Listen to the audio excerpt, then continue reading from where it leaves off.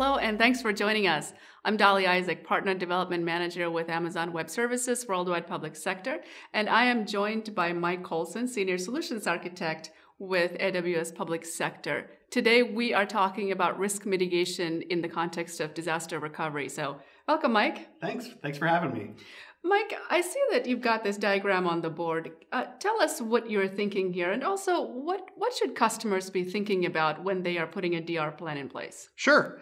So the first thing that we need to think about is recovery time objective and recovery point objective. And the reason we need to think about these is because they're really the, the core and foundation for any disaster recovery, COOP, or uh, or even backup target program that we have to look at. So that's the first thing we want to do. And so I thought it would make a lot of sense to start there. So RPO, or recovery point objective, and RTO, recovery time objective. RPO is really the time between when you have a good data set and you know that this is a known good. And then that to the disaster will indicate the time loss. So this is all data loss between when you last had your known good backup and when the disaster actually occurs. So this actually helps kind of set the criticality of the application and the data sets that, that it's dealing with. Uh, and it's important to have that RPO understood uh, so that you can kind of judge which way you want to go with the application design and architecture. RTO, on the other hand, is a recovery time objective. So this covers the point in time where you regain operations of the application. So full operations capability coming back online. And that's t- taking into account that uh, replication for the data set from your backup or how you want to build it out, or even if it's an active active environment so that we just cut over the connection into the active site. And AWS has a lot of great solutions for how we're able to accomplish this. And it's a it's a mix of, you know, RPO and RTO to make the determination of how we want to do that design. So let's kind of dig into some of those designs.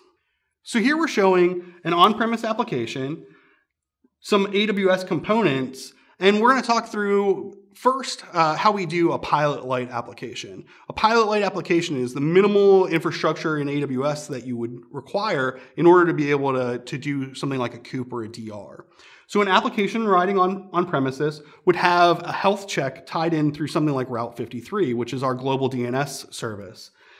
So the health check would, would route into Route 53 from the application, basically uh, validating that it has connectivity, typically through a CNAME uh, or a record to, to validate that the connection uh, and, and keep alive is, is there and available, so TLS based uh, application checks. And then if the application were to fail, it would call a Lambda function which would instantiate the EC2 instance being built out. So this could be based off of a backup that's been replicated to the S3 bucket sitting in the environment. It could just be a, a template that's been created using uh, AMI, uh, EC2 AMI. Uh, this is one option, right? But the, the ability to spin up that EC2 instance may take a little bit longer. And so we get into that RPO conversation. Well, is it, is it fast enough? Uh, it could take a couple minutes or, or more to be able to have this application spawned and ready to go.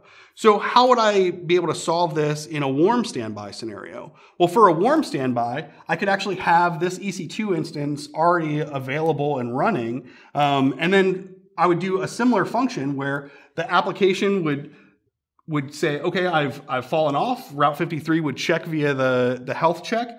It would call Lambda, but instead of having to spawn a, a new instance, it would actually write to auto scaling group, and the auto scaling group could then set a max size of two, and a new instance would spawn. And now I have two versions of that instance, which I can load balance across, right? And, and that would be available until the, the site came back online from an on prem perspective, and then I could scale back down. Mm-hmm. For a hot, hot or active, active environment, I would actually be running the application stack in both environments. And there, without having to, to require too much effort, I could have both applications load balanced up to Route 53, and then Route 53 also pointing into my EC2 instance with a load balancer in front of it. And immediately, if this site goes down, I automatically spin to this site, and I can change the auto scaling group to equate to whatever the workload is on prem. And because we have the, the capability to do this across multiple regions, I have the ability to spin this up globally really quickly. That's, that's great. Thank you so much. So you look sounds like customers have lots of options. Yeah. They have lots of options depending on whatever they choose their RPO and RTO should be, right? So like if we were to take that a little higher, right, into a, a broader perspective, why do customers go to cloud architecture know, when it comes to DR? Right. So there's actually a couple really great reasons to look at cloud for for DR or, or COOP. Um, and first of all, it's cost. It would cost a lot to have all of that uh, additional gear sitting on prem. And the geographic uh, disparity of having the ability to spin across all those 18 regions worldwide and the way that AWS builds out their, their region footprint with multiple availability zones and multiple data centers in each AZ uh, allows for uh, a greater flexibility in the way that we would be able to deploy out in, in case of a disaster and, and rapidly deploy because we could build all of this into cloud formation templates and deploy infrastructure as code.